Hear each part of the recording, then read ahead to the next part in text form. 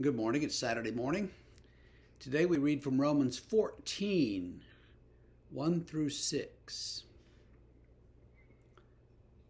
As for the one who is weak in faith, welcome him, but not to quarrel over opinions.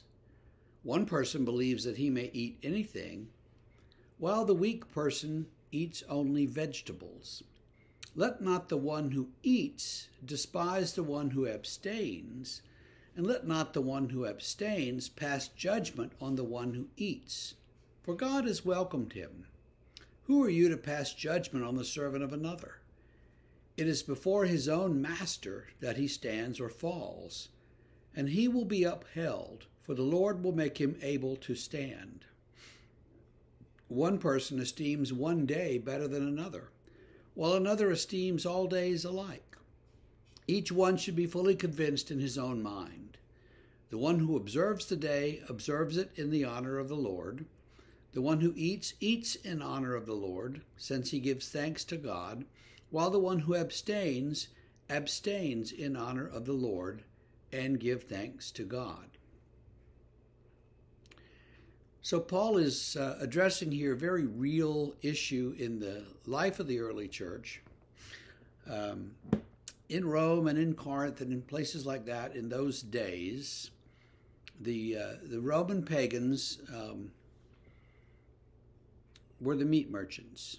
I mean, they were meat merchants, and so what they would do is take uh, the say the cow to the uh, pagan shrine early in the morning, and there it would be sacrificed in honor of of Diana or somebody and then they would get the meat from the slaughtered animal take it down to the market and sell it.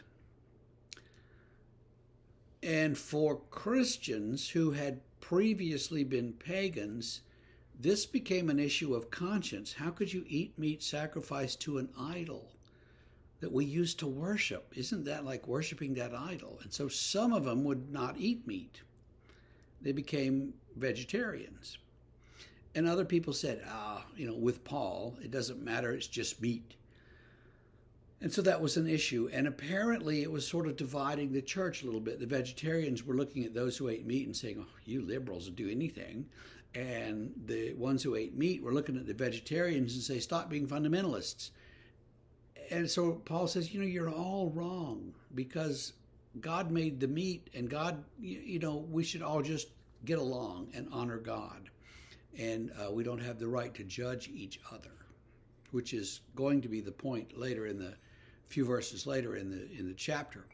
Um, or esteeming a day as more important than another. Um, I think he's referring to things like um, um keeping, say, say, keeping the um, Jewish uh, holidays, or remembering the Jewish holidays, or or um, in our time, there are certain days that are um, recognized as important by the Roman Catholic Church that we Protestants pay no attention to at all. We had one about a week ago, March 25th. Does anyone know what March 25th was?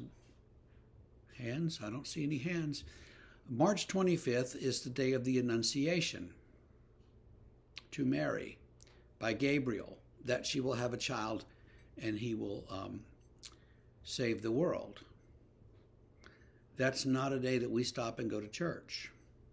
Uh, some, many Roman Catholics do go to Mass on that, that day and remember that day.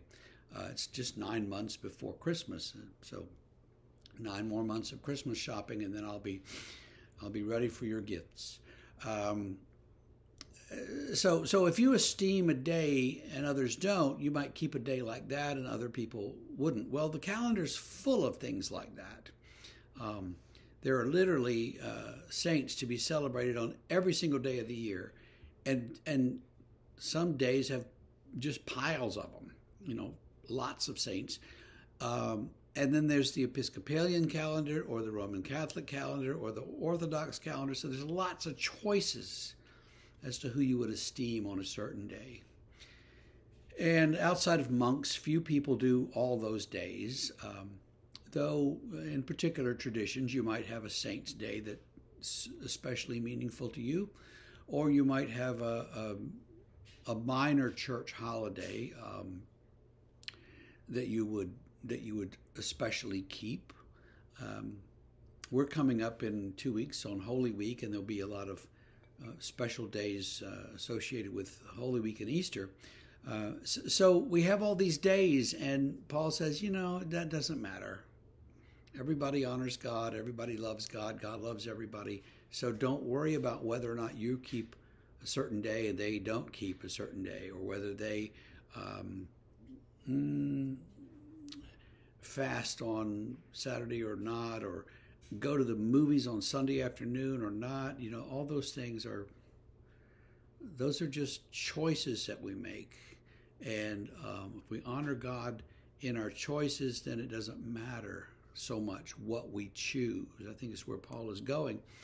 And so let's keep that in mind and not not judge each other based on um, our particular personal religious opinions, but love each other nonetheless. And that's easy for me to say, and it's very hard for you to do. But I urge you to go out there and do it. See you uh, Monday.